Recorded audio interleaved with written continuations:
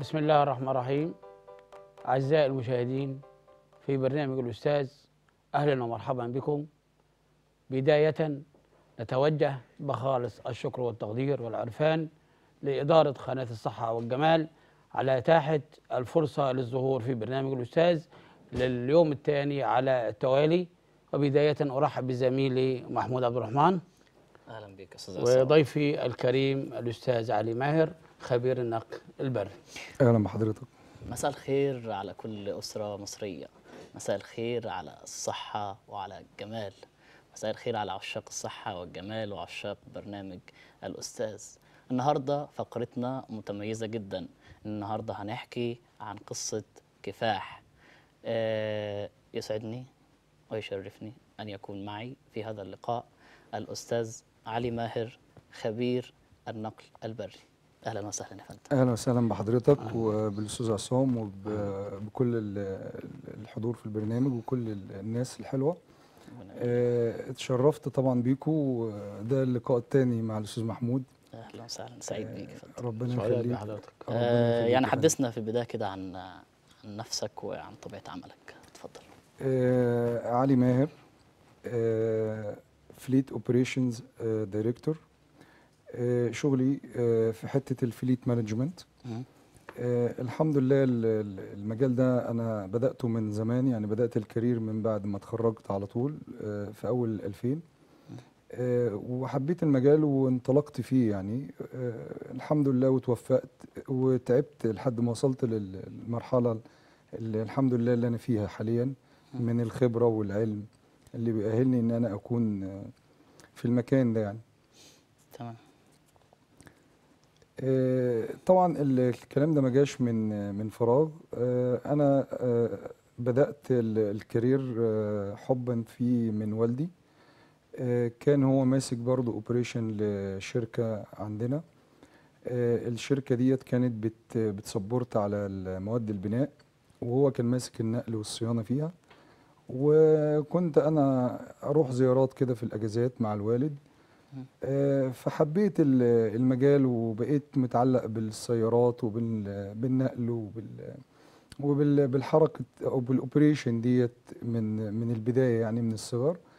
والحمد لله ربنا وفقنا يعني وسافرت دول كتير وخدت خبرات كتير في الخليج وفي أوروبا وفي مصر وفي كذا مكان. آه، وكل ده الحمد لله بتوفيق ربنا وبرضه بالثقة في الله ثم الثقة في النفس. ودعوات الوالدين والأهل يعني ومحبة الزملاء. الحمد لله. جميل. إحنا معنا صور على الشاشة خاصة بالأستاذ علي ماهر خبير النقل البري. آه ممكن توضح لنا ال- الصورة دي؟ آه ده انجو رودجر آه، حد من أعز أصدقائي في ألمانيا. آه، وهو ده كان اللي عرفني على شركة يونيفرسال ترانسبورت ميشيل آه آه، رودجر آه آه، ده كان واحد من مديرين المشاريع الألمان. مم. وهو اللي رشحني آه، كمدير نقل إن آه، أكون مسؤول عن نقل ال- ال- ال turbines من مواني مصر كلها اللي هي جاية من سيمنز آه، من ألمانيا ومن كذا مكان. آه، للعاصمة الإدارية. ومحطة كهرباء بني سويف. كانوا أضخم مشروعين في 2016 ودي كانت بعد ما نزلت من الخليج على طول. آه دي بقى إيه؟ وده كان ال team بتاعي ال- ال team اللي أنا كونته لشركة يونيفرسال. آه، منه foreman ومنه في واحد خبير ألماني كان معانا بي support معانا في حتة ال- ال hydraulic system وخلافه. والباقي هم ال- ال operators بتوع ال- السيارات. تمام اللي بعده لو سمحت. دي برضو صورة لل team برضو بس على على نطاق أوسع شوية وكان معانا محاسبين وكان معانا السكرتارية آه آه، دي كانت في ألمانيا السخنة لا دي كانت في السخنة هنا؟ بعد آه، ما آه. جبنا المعدات آه، من آه. ألمانيا لما و- رجعت من ألمانيا بعد ما رجعنا وعمل وخدت training وكل شيء. آه، دي كانت تقريبا أول رحلة لنا بتوربين من الأدبية أو من مينا دي بقى دبي الصورة اللي. ظاهرة دي في Blue Sky. آه ديت في الفترة اللي أنا اشتغلت فيها مدير نقل ب Blue Bus آه، إحدى آه، شركات مجموعة Sky Blue Sky. Blue Sky آه. Blue Sky. آه كنت مدير النقل ب Blue Bus. آه ودي كانت أول مرة أشتغل سياحة وكانت تجربة دي جميلة جدا. الجميلة دي. آه الصورة دي كانت في هامبورغ. آه وده ال fleet بتاع يونيفرسال بس في ألمانيا. مهم. والتلج بقى ال snow والحاجات اللي حضرتك شايفها ديت. فدي كانت برضو من ال- ال- الأماكن ال- الجميلة جدا.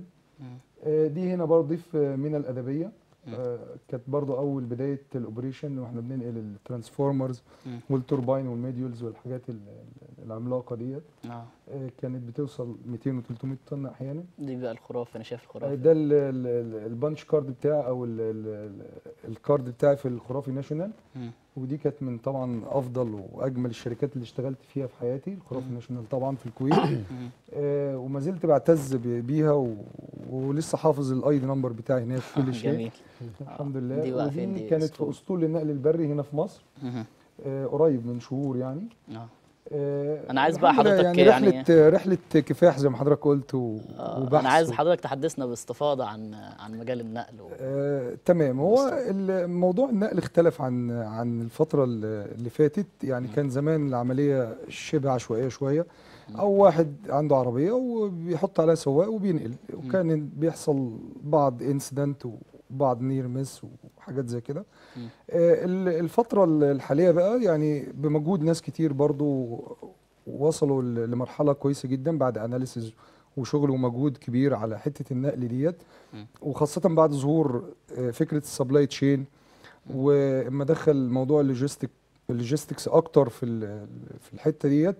آه، فده انعكس على النقل لأن هو النقل جزء من ال logistics جزء من ال supply chain بشكل عام يعني. فحتة النقل دلوقتي اختلفت خالص عن زمان. زمان أنا كنت بنقل بضاعة أو سلعة نعم. أو أشخاص حتى من مكان لمكان. ألو؟ من نقطة لنقطة. معنا اتصال يا أستاذ علي. أهلا؟ وسهلا يا مرحبا. ألو السلام عليكم. السلام عليكم. عليكم السلام ورحمة من الله معايا؟ وبركاته. من معنا مع ح- مع حضرتك آه، زينب محمد آه، مدام زينب مدرسة إنجليزي؟ أيوه. أهلا بك يا مدام زينب. أهلا بحضرتك آه أهلا ده. زينب اتفضلي اتفضل اتفضلي. بحضرتك في صلة قرابة مع الأستاذ علي ماهر ولا إيه؟ الدنيا يعني ولا مداخلة دخلت إزاي يعني؟ مع أستاذ علي طبعا ده الغالي طبعا. هي المدام اللي لها فضل كبير طبعا آه، عليا وكانت سبورت ليا في رحلة ال- الكفاح دي كلها. كانت هي مرافقة ليا على طول في في كل شيء. وهي كمان هي زوجتي طبعا وبنت خالي كمان يعني في نفس الوقت. آه، فالحمد لله إن ربنا برضو وفقنا بجانب الشغل الكويس والزملاء الكويسة بأسرة آه. كويسة يا أستاذ زينب. وزوجه صالحة. إحنا كنا. بنتكلم على ال- حدثنا عن الأستاذ علي الإنسان مش الأستاذ علي ال- أستاذ علي ده أجمل إنسان طبعا. ربنا يخليك. شخصية طموحة جميلة آه، كل الصفات الجميلة يعني. الحمد لله. هي الأخلاق الحلوة اللي عنده هي اللي وصلته للمرحلة الجميلة اللي هو فيها دي. آه، أستاذة زينب فضل ال- رضا سبحانه وتعالى عليه يعني الدعم. المعنوي لسيادتك آه، كونك إن أنت زوجة آه، أستاذ علي وفي نفس الوقت يعني شريكة معاه في قصة الكفاح دي آه، كان كان دوره إيه يعني كان دورك إيه معاه يعني عشان يوصل للي هو ال- الحاجات الحلوة اللي بنشوفها دي على الهواء؟ اتفضلي يا فندم. أنا أنا دايما كنت بشجعه بصراحة يعني لما بشوف حاجة حلوة لازم نشجعها. مم. وكانت هو تترجم لي كمان يعني ال- كل- هي آداب إنجليش وتربية كمان طيب ما أنا بقول لك كلمينا عن آه. دورك بقى في الإنجليش والحاجات الحلوة دي ليسانس آداب آه، وبكالوريوس ليسانس- تربية آه. كمان في نفس الوقت يعني واخدة ال- الشهادتين فهي تخصص إنجليش أكتر فكانت أحيانا التعامل سيادتك بيحتاج فعلا أكتر فعلا كنت بحتاج ترجمة كتير و- جدا آه، كنت بحتاج آه. ترجمة كتير جدا فهي كانت بتساعدني فيها في الوقت اللي أنا ما بقاش عندي وقت إن إحنا أنا عايزينها هي اللي. تتكلم هي آه، اللي تقول الكلام الكلام ده أنت بتدافع عنها قوي. من من 15 سنة مثلا لما آه. بدأنا إنما دلوقتي أستاذ علي بقى استاذي دلوقتي هو اللي آه. درس لنا الإنجليش كله آه، أهلا بيك يا فندم أنت سيادتك سافرت. معاه أي دولة في رحلة آه، عمل. يعني إحنا سافرنا الكويت وسافرنا السعودية وسافرنا أكتر من مكان بصراحة يعني قعدنا فترة كبيرة بره بس ما شاء الله يعني عليه كان في كل مكان بيضيف ليه بصمة حلوة يعني. أي أح- مكان راحه ساب فيه بصمة حلوة الحمد لله. أحب. البلاد اللي جامعتكم في رحلة عمل أنت الأستاذ علي إيه هي؟ الدول. بصراحة ال- الكويت كانت من البلاد الجميلة قوي يعني كانت جميلة. والسعودية. يعني بصراحة دول أحسن بلدين إحنا قضينا فيهم وقت حلو وفيهم ذكريات حلوة كتير يعني. حابة تضيفي حاجة يا أستاذة زينب؟ وإحنا على الهوا للأستاذ علي أو كنصيحة لل- للشباب كده وانت على الهوا معانا. أنا حابة أقول لاي إنسان إن هو يشتغل على نفسه كتير يجتهد ربنا يوفقه. وده اللي حصل يعني الحمد لله مع زوجي. لأن. هو كان عنده صبر جامد قوي وبدأ آه، بداية حلوة يعني. بدأ. بالصبر وبالكفاح والقرايه كتير والتكنولوجيا يعني هو من النوع برضه اللي بيحب التكنولوجيا قوي. آه. دايما على تواصل كده بالميديا وبالنت وبال أي. جهاز جديد بيحاول إن هو يتعرف عليه. فدي حاجات جميلة. دايما الواحد لازم يكون مواكب العصر. مش مم. بس إن إحنا أفضل قافل على نفسي على المعلومة اللي عندي. لا. لازم أفيد اللي حواليا بيها و... وأحقق انتشار بحيث إن يكون في في خبرة بنضيفها في إضافة في حاجة حلوة بنضيفها للناس. وربنا يوفقه إن شاء الله وعلى زينب. آه،. ماذا تتمنين من أمنيات للأستاذ علي أن يحققها في المستقبل القريب إن شاء الله؟ على المستوى الشخصي وعلى مستوى الأسرة وعلى مستوى العمل. التوفيق بإذن الله في كل مجالات الحياة في تو- توفيقه في الأسرة وفي الحياة العملية وكل حاجة. ربنا يوفقه إن شاء الله ويحقق له كل ما يتمناه. يا رب اللهم آمين. إحنا سعداء بيك. إحنا قرينا خبر قريب قبل ما تقفل إن زوجة ال- الإنسان في ال- الاخره هتبقى هي زوجته في الدنيا. فالموضوع ده هو كان صدمة وفرحة يعني. هو في الأول بيبقى خضة كده وبعد كده راح رب سبحانه وتعالى يجمل حياتكم آمين. وهناء. وفرح وسرور. اللهم آمين. سعداء. بيك يا. أستاذة زينب. آه، أستاذ علي ننتقل بقى تمام آه، مثلك فندم. في مجال عملك وأهم الصفات التي اكتسبتها من خلال تمام. هذه القدوة وال- والنموذج آه، طبعا هو على المستوى الشخصي بسرعة إن أنا مثل على والدي طبعا اللي هو كان أول نموذج آه، ناجح شفته وكنت بقلده كتير في شغله وفي وفي طبيعة عمله وفي وفي كل وفي أخلاقه وفي كل شيء آه، بعد كده ال- النموذج برضو المشرف جدا اللي احتذيت بيه كان آه، المهندس أسامة عبد الباقي.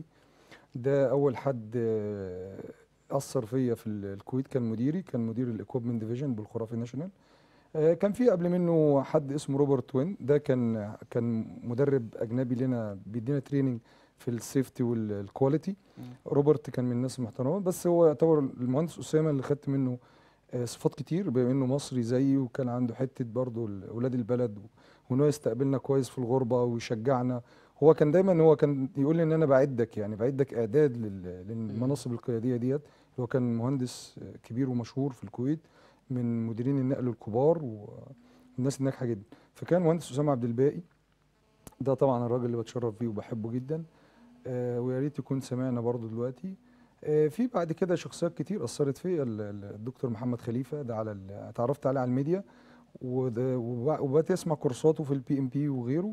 وبعد كده اتقابلنا في الكويت في مؤتمر في الكويت كان بيدرس risk management وأنا من عشاق ال risk management يعني لأن قريت فيه كتير وحاجة كويسة جدا. والتقيت بالمهندس محمد آه، في الكويت أكتر من مرة تاني. لدرجة إن الناس بقت تسألني على أرقامه وعلى مكانه هل هو في الكويت ولا في مصر ولا في دبي حاليا كده وبقينا أصدقاء جدا. آه، ده كان نقطة تحول في حياتي برضو غير حياتي بشكل كبير جدا 360 درجة. الدكتور جميل. محمد خليفة حسن. آه. آه، وبعد كده قابلت ناس كتير برضو محترمة في المجال. آه، اتعلمت منهم لما اتعرفت على إنجو رودجر في ألمانيا وهيننج بانتين الناس دي كلها كان لها فضل عليا في انهم علموني كتير جدا برضو في المجال. وطول ما إحنا ماشيين في الرحلة بنقابل ناس برضو محترمة وبنتعلم منها. ويعني أنا آسف لو نسيت حد يعني من الناس الكويسة اللي وقفت معايا. آه، ال- ال- السيد عبد الله الحص ده كان صاحب شركة الحص. أول شركة اشتغلت فيها في الكويت لمدة ست سنين ونص أو سبع سنين. آه، السيد عبد الله الحص ده كان حد محترم جدا وكان من سني تقريبا. كان owner للشركة وكان بيدعم الشباب بشكل غير طبيعي. تمام. وسفرني أكتر من مكان وكان يعني بيدعمني معنويا بشكل غير طبيعي. وبشكل مادي برضه في كل التسهيلات يعني. تمام. آه، كان معانا السيد جون رعد آه، كان general manager في هيدكو. آه، قابلت ناس كتير قابلت المهندس أحمد الجزيري من الشخصيات الكويسة في مصر في مجال النقل. آه، يعني مريت قابلت ال- السيد هيثم أبو دومة في Blue Sky. كان CEO هو كان مدير المباشر أنا كنت reporting ليه. دي كلها شخصيات محترمة يعني آه، اتعلمت منها وأثروا في في شخصيتي. وعلموني كتير في في المجال وفي الحياة بشكل عام يعني طيب حضرتك يعني أنا عايزك تكلمنا عن آه، رحلة العمل وتراكم الخبرات آه، هل أثرت فيك في علي ماهر بشكل طبعاً. إيجابي ولا طبعاً. بسلبي؟ وادينا الاثنين تمام. آه. أنا أنا اتخرجت في 99 آه وخدت بقى المرحلة اللي هي الأولانية بتاعه ال- ال- التجنيد والكشف والكلام ده كله. وبعد كده آه بعدها بسنة تقريبا كنت بدأت حياتي العملية في مصر. آه كانت نقطة تحول من السفر في أول 2004 تقريبا. آه لما سافرت حسيت إن الدنيا مختلفة خالص. يعني لو كنت فضلت في مصر لحد النهارده ال 20 سنة اللي فاتوا دول ما كنتش آه، يعني أتوقع إن ما كنتش أوصل اللي وصلت له حتى على المستوى العلمي يعني على مستوى الخبرات. إنما ال- ال- اللفة دي بالشكل الكبير ده آه، بالدول كتير اللي أنا رحتها بال يعني بالناس كتير اللي أنا قابلتها دي طبعا ضافت لي كتير جدا يعني آه، حتى في ناس هنود أنا قعدت في الهند فترة كبيرة آه، كنا بنجيب ناس بنعمل ريكروتمنت للخرافي. قابلت ناس كتير جدا في الهند واكتشفت إن هي بلد عظيمة جدا. أنا ما كنتش عمري يعني أسمع عن- يعني كنت أسمع بس كنت شفت ال- الجمال ده والطيران. أنا يعني سافرت 18 رحلة جوه الهند بالطيران الداخلي. نتنقل من ولاية لولاية ننتقل من ولاية لولاية الاخرى يعني. آه، فشفت كتير يعني وتعلمت كتير. فلو كنت في مجالي هنا أو في نفس ال career حتى أو في career غيره على نفس الخط المستقيم في مصر وما خرجتش براه. أكيد طبعا ما كنتش أفكر خارج الصندوق ما كنتش هوصل للمرحلة اللي أنا فيها حاليا. فالسفر بيدي خبرات كتير جدا بيعلم الإنسان آه، كل الشخصيات اللي بقابلها طبعا بتعلم منها وبتأثر فيا آه، اللي بيعلمك الصبر يعني في البداية كان الواحد لسه برضه ظروفه ماديا مش ما بتسمحش إنه يقدر يتحرك كويس آه، كان في حاجات كتير اتغلبت عليها إن أنا بعد كده بقيت عندي عربية ما كانش عندي عربية كنت أركب مواصلات. العربية سهلت شوية. آه، شوية بقى عندي بيت أوسع شوية يعني آه، الحاجات دي كلها بتسهل بتيجي من من من تراكم الخبرات والعلم. ما بتجيش فجأة. يعني أنا مش هروح الكويت النهارده أسكن في فيلا لأ. أنا سكنت في الأول sharing وقعدت مع هنود كنت أنام على الأرض. وبعد كده شوية. شوية آه طبعا. رحلة كفاح برضه. آه بقى عندي استوديو خاص بيا شوية بقى عندي شقة وبعدين جبت ال- ال- المدام وبعد كده ربنا كرمنا بأولادي يعني. مواليد الكويت معظمهم. آه، فالسفر اداني كتير وعلمني كتير طبعا آه، في حياتي وفي شخصيتي وفي تكوين شخصيتي يعني وفي تنمية مهاراتي وشغلي. آه، أمنية لم تتحقق حتى الآن؟ والله الحمد لله أنا ما طلبتش حاجة من ربنا إلا لما اتحققت يعني بفضل ربنا بفضل ربنا ودعاء الوالدين وفضله عليا. أي امنيه طلبتها اتحققت. هي الأمنية الوحيدة اللي كلنا بنحلم بيها إن إحنا نشوف ولادنا زينا وأحسن مننا وفي أماكن أحسن مننا وي... ويكون حياتهم أسعد مننا كمان. هي دي الأمنية اللي شغالين عليها واللي هي طبعا لسه ما اتحققتش يعني بس إن شاء الله تحقق مع الوقت. إن ولادنا يكونوا أفضل مننا يعني وأسعد مننا. اللهم آمين. أستاذ علي ال- أنا عايزك تكلمني بقى عن ال- العقبات أكيد يعني أنت لما بدأت من الصفر أكيد طبعاً. في صعوبات في عقبات في الكلام ده كله. فعايزك يعني توضح كده للسادة المشاهدين إيه، تذكر لنا مثال لو في عقبة كده وقفت وإزاي اتغلبت عليها. أنا مش بدأت من الصفر أنا بدأت من تحت الصفر يعني أو من السالب زي ما بيقولوا. آه آه. آه لا كانت البداية صعبة جدا. كانت بدايتي أول دولة سافرتها كانت في ليبيا. آه كانت ليبيا في الوقت ده مزدهر يعني وفيها شغل كويس. بس أنا طبعا بدايتي كانت لسه شاب. متخرج بدور على أي شغل أي حاجة في البداية. كانت الدنيا صعبة وكنت أحيانا يعني ما لاقيش مكان أنام فيه. كنا نشتغل أي شغل عشان نجيب أي دخل. كانت العملية بالنسبة لي لسه في البداية صعبة جدا.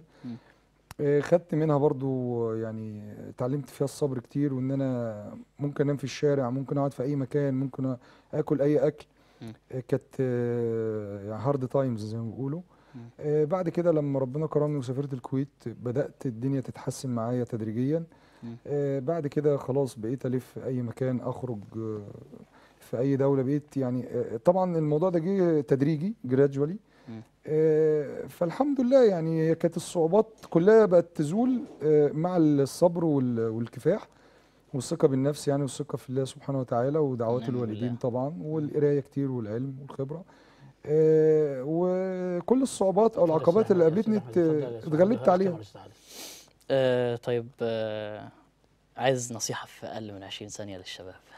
والله هي دايما نصيحتي إن الشباب ما يكسلش يعني آه يعني زي ما عرفت إن حضرتك آه، اتخرجت واشتغلت على طول مم. فأنا أتمنى وأنا نفس الشيء يعني أنا كنت بشتغل كمان وأنا في الدراسة مم. فأتمنى إن الشباب برضو يكون على طول شكراً. آه شغال ما شاء الله يقعدش بإذن الله تعالى في حلقات قديمة إن شاء الله بإذن إن الله شاء تعالى الله. سعداء بيك وسعداء ونورتنا بحضرتك. وشرفتنا إلى هنا الشرف لينا يا فندم. وشكرا على اللقاء الجميل ده ربنا يعزك إلى هنا. أعزائي المشاهدين تنتهي حلقة برنامج الأستاذ على أمل اللقاء في حلقات قادمة بإذن الله تعالى. أشكركم والسلام عليكم ورحمة الله تعالى وبركاته.